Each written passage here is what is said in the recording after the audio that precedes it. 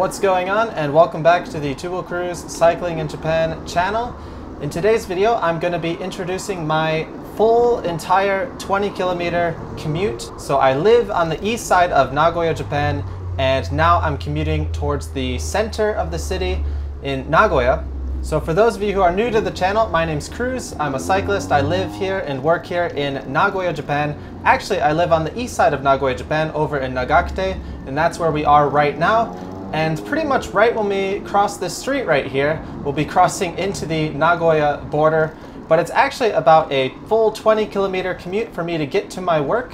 And I really love my commute route. I showed a little bit of it in another video recently, and some people wanted to see the full video, so that's what we're going to be doing today. I'm not going to talk for the entire commute because it's going to take me about 45, 50 minutes or so. So I'll be talking in the beginning and in the end, and there might be a few small parts during the middle of the commute that I'll be talking, but for the most part, I won't be talking, so uh, if you have the time to watch this full video, enjoy. There's a lot of cool little unique things along the way. As you can see right now, we're going down a very busy street. There's all these cars lined up and backed up at all the traffic lights, and that just looks absolutely horrible. I'm really happy to be on my bike for my commute. I'm really happy to have a great route to get there. The beginning right now is a little bit busy. There are a lot of lights, but a few kilometers in, we'll be getting onto a river path with no lights, and I can pretty much ride almost the entire way to work without having to stop, which is really great. So anyway, I hope you guys enjoy. If you like these kinds of videos, make sure to give this video a like and leave a comment down below on anything you thought was interesting or if you have any questions.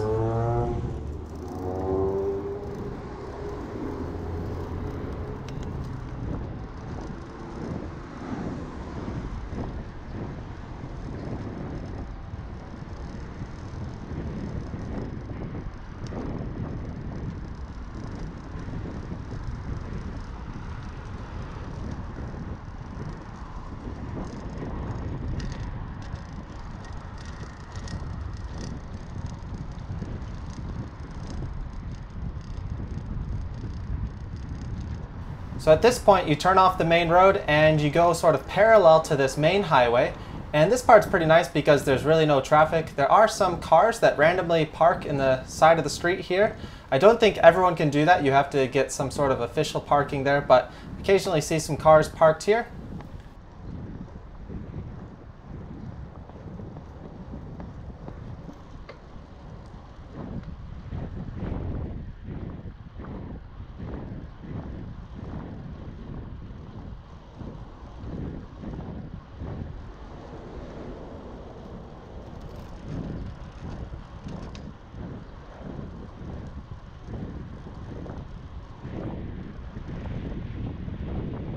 And these sort of side roads can be a little bit annoying and dangerous because there are these sort of stop signs. I always make sure to at least yield through them. That's one thing, unfortunately, that Japanese roads are famous for is just lots of places you need to stop, be it stoplights, stop signs, and just lots of intersections, lots of people.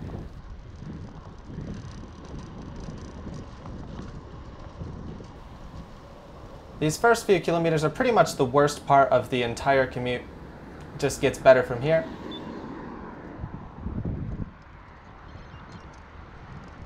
And you may notice there's kind of a mix of residential and commercial areas here. So some of these buildings on the right side are, a majority of them are houses, places where people live, but there's also a couple different warehouses and different businesses going on there. So I'm not really sure if Japan has that strict of regulations on their sort of zoning laws with with commercial and non-commercial properties. So if anyone knows about that, let me know down in the comments.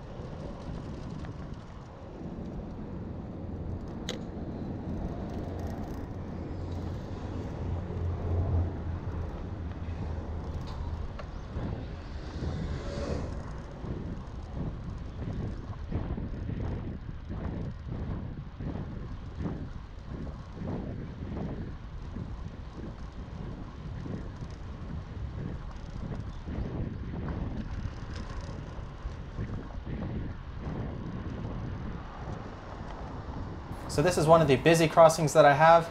You can go onto this sort of one-way road for cars, but it's actually only one way for cars, so pedestrians and bikes can actually go both ways. It says that on the signs there. But you can see there's poles on both sides of the street.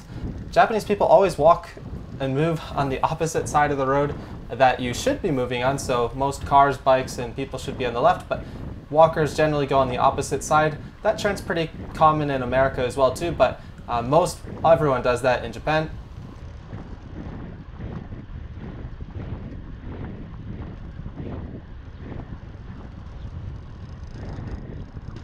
So fortunately this section is not too long. We can pop over under this little bridge here and get over onto the correct flow of traffic. And this side there's really not too many cars. And they've actually increased a small little pedestrian area on the right, but that doesn't go the entire way.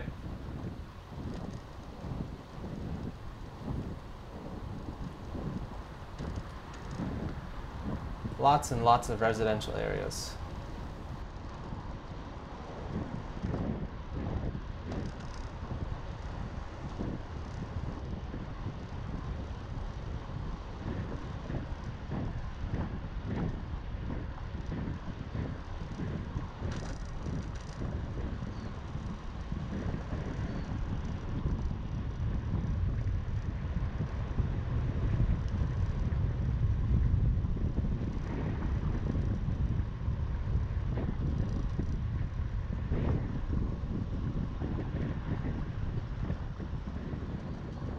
Next, we're gonna pop onto this other little main road here. And right to the left here, there's a taiyaki shop. Unfortunately, it's closed when I leave from my commute and it's already closed when I come back from my commute. So I can never get a snack during my commute, which is a huge bummer. And this road is actually a little bit dangerous. There is this small little path that you can go on for the bike, so there is that little extra safety there. But I actually crashed on this road a couple weeks ago. If you watched one of my recent race vlogs, I mentioned that I crashed, some car pulled out right in front of me, just passed me and turned right in front of me. And that happened right here, right at this intersection. The car just pulled right, exactly like the same timing right here, and just turned right in front of me without signaling. And yeah, I just went down pretty hard, but I really wanted to report the guy, but unfortunately didn't have a camera going. He drove off. I memorized his plate at the time, but I just figured like if I called in, I was gonna miss the race, and if I didn't call in, I could make the race. So uh, entering the race was a bit more of a priority for me then. And fully healed now, so no real problems. But I make sure to ride as safe as possible, as defensively as possible as I can during my commute. Uh, we're gonna pop over here on the right side since we got a right turn coming up.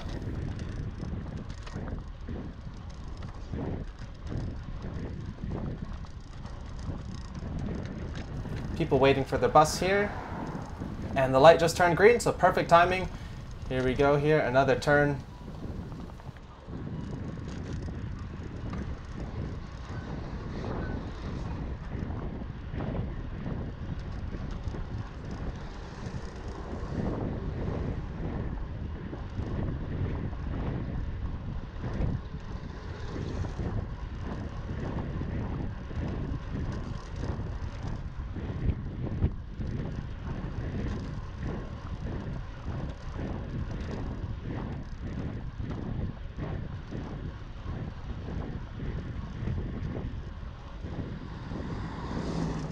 And on this left turn here, we begin our coordination with the river. So this is, I believe, is the Kanare River.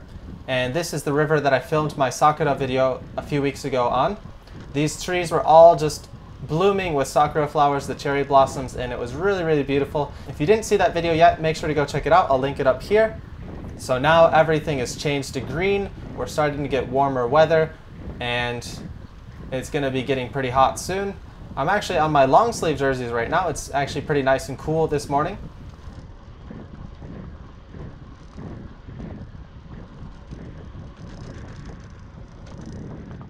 So we've got an interesting little passageway here going under the bridge.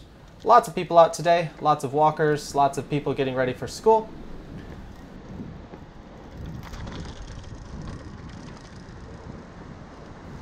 And we can actually continue on this path here if we go straight, but I choose to go on the main road because it's a little bit faster. There's lots of trees with their roots sort of growing in and pushing the cement up, so it's not the smoothest of paths up there. It's really narrow and there's a lot of walkers. There's a lot of walkers with their dogs, so it is not cycling friendly. And there's really no cars that go on this road down here, so it's a nice, smooth alternative.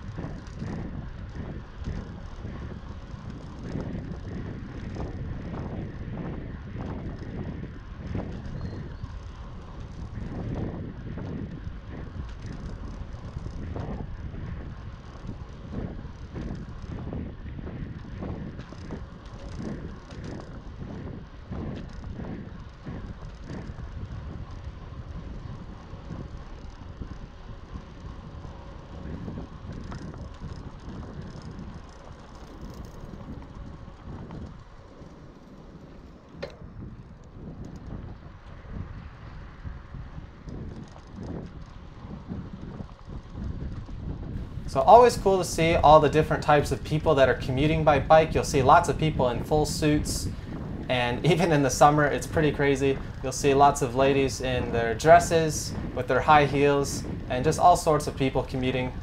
Um, that's one of the great things about the culture here in Japan is bicycles are seen as a mode of transportation that anyone can use, whereas in the US it's kind of seen more as a toy and people who commute by bikes are sort of looked down upon. But in Japan, it's kind of a normal thing, and pretty much everyone commutes by bike, so there's really no looking down on it. It's something that everyone does. It's viewed more or less as a positive thing, and people don't really look down on cyclists. But a lot of people maybe don't really like cycling that much, but they still do it. They just really don't like the exercise. They don't really like um, riding their bikes too much, but most people still do it.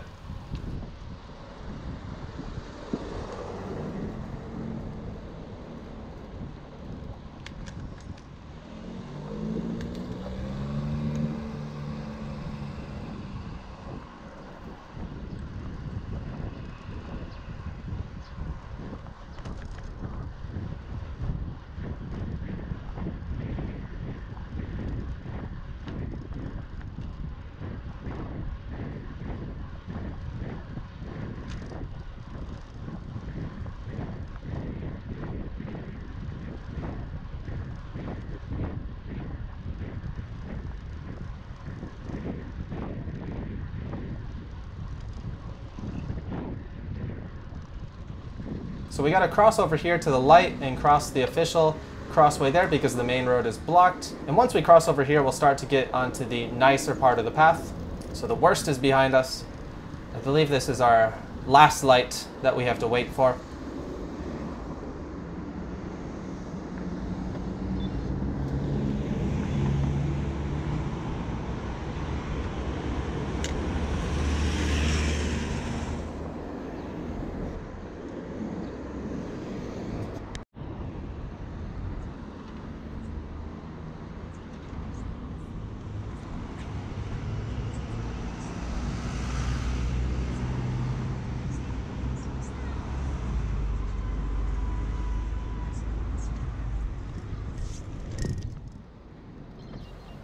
This is during the, I believe, middle school or high school commute time.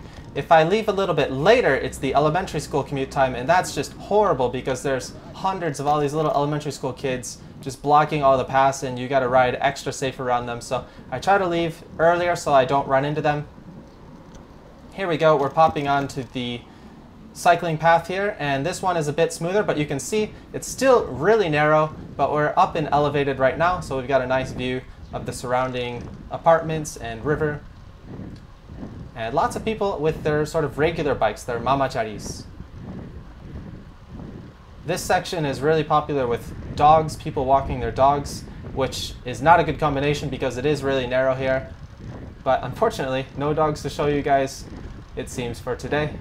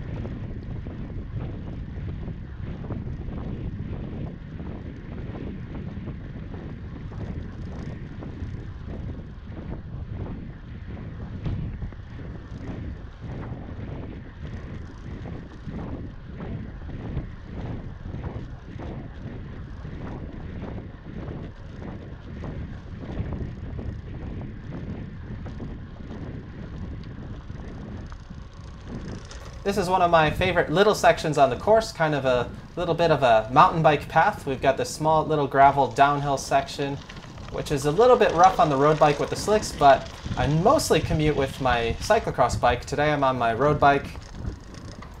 And this guy here, he's here every morning cleaning out the bottom of the path down there, making it really nice. A couple people do that volunteer on this path and just maintain the different plants or flowers that are going on. There's a little garden down here that you'll see in a little bit.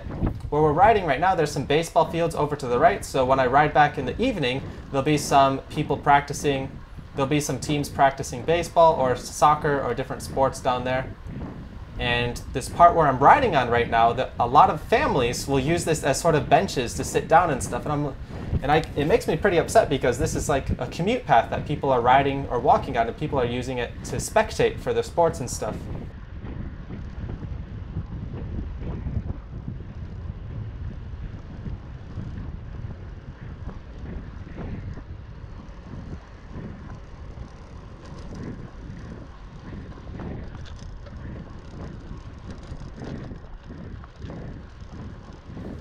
This part here is actually a little bit dangerous because cars can enter right here, so you gotta be careful that no cars are coming in.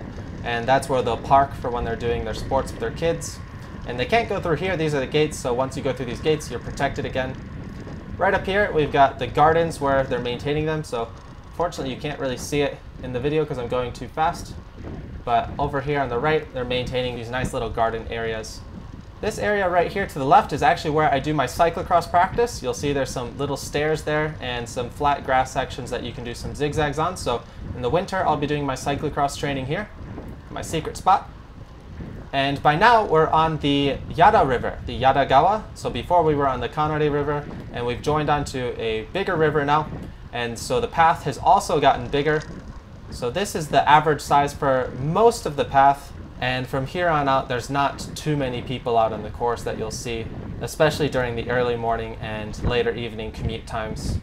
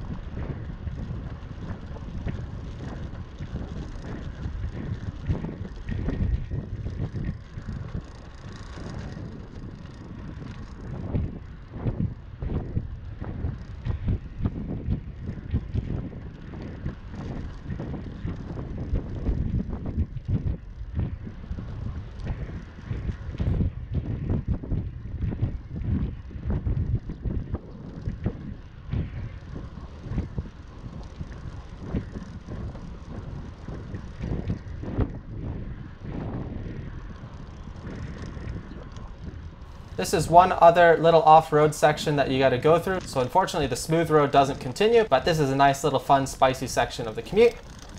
Uh, not that great again on the road bike, but it's pretty short and sweet and the former mountain biker in me enjoys it. And once we get over here, we get a nice view of the river. We get really close to the river.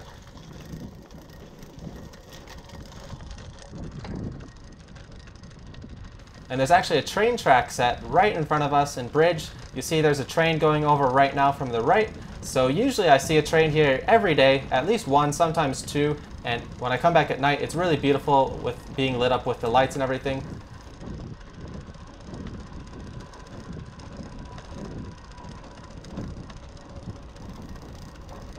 Here we go, there's the second train going the other way. And you hear the nice rumble of the tracks. Last little gravel section and we're back on some smooth pavement and the pavement here has gotten really wide. This is one of the more wide sections on the course.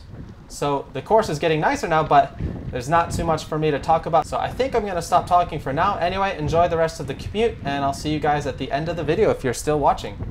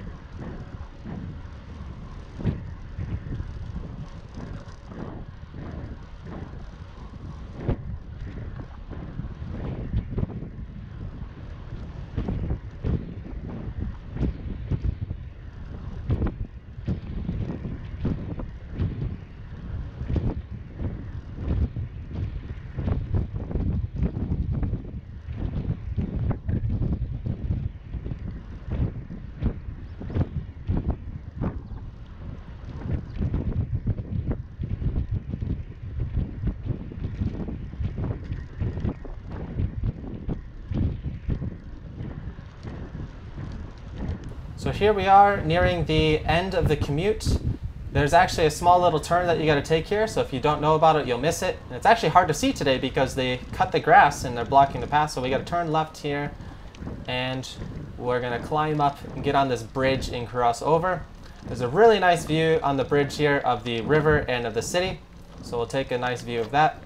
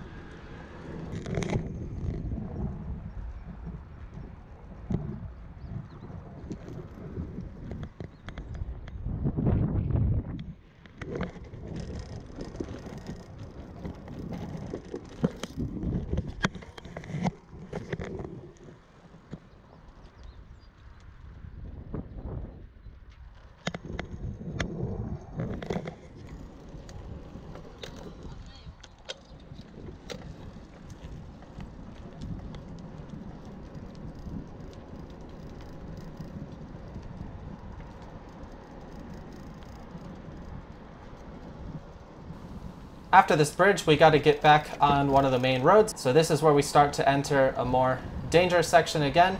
These small, narrow river roads are actually really dangerous because lots of cars try to use them as alternatives to get around the busy main roads.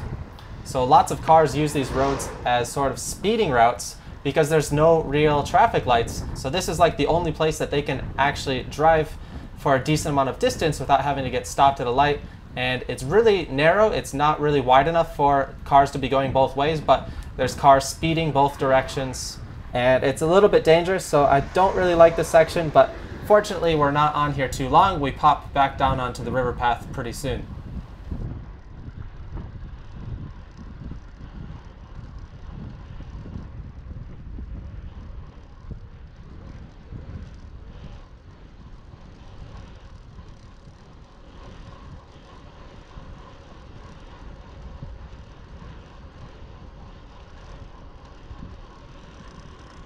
So here we go, we pop down onto the other river path here. So this now is the Shonai River, the Shonai-gawa path. You'll notice the ground color here is a bit different. It's a bit more reddish color.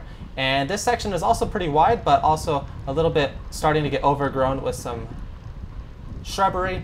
According to my senpai, there's some nice mulberry trees. There's some nice mulberry bushes here, so we'll be getting some nice mulberries in the summer some snacks during the ride. And we continue on this all the way down to the Shonai River Park, which there actually is a small little cycling course there. I'll try and show that to you guys in a later video. And after that, we cut into the town right next to there, and that's pretty much where I'm working.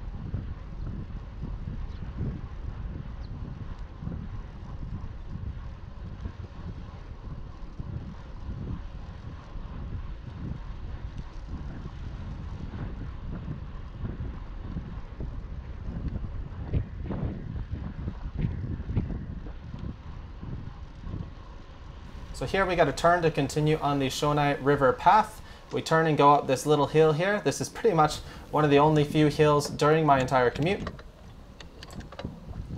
And once we get to the top, we have the option to go left and continue on the Shonai River path. And that's actually the direction I went when I went to the immigration office here in Nagoya in another video a few that I did a couple months back.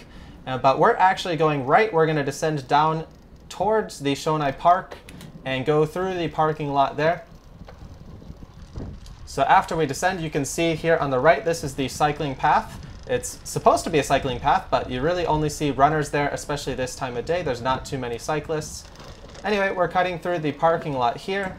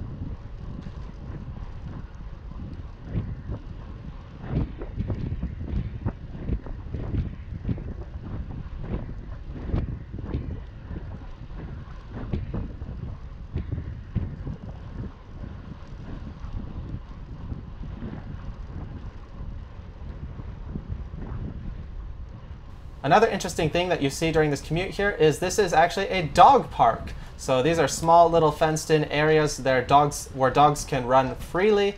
It's really, really small compared to dog park sizes like in the US, but every day, especially when I come back home, there's a ton of dogs in there, a ton of people out with their dogs. Well, on the sunny days only. On the rainy days, no one's there. And it's a little bit early right now, so no one's there yet. And after that, we've got another hill to go up here. So one of my last little hills and after that, we cross this road, descend down, and this descent is also a little bit dangerous. Really narrow road, lots of cars trying to speed and get through here on their way to work, and cars trying to go both directions just ends up and when cars are going both directions at the same time, it's just always a problem. One car has to wait for the other, and it just creates this big uh, sort of traffic jam. So I like this section here. It's kind of got that older Japan feel. Uh, but the roads are pretty narrow, which can be a problem when there is traffic. And there's always traffic in the morning on the morning commute to work. But yeah, that's pretty much it for my commute. I think I'm going to end things here since we're getting pretty close to my work. If you like this video, be sure to give it a like. It really helps support the channel. And if you want to see more videos about cycling, life in Japan, leave a comment down below with what kind of content you'd like to see. And I'll see you guys next time here on Two Wheel Cruise. Ride on!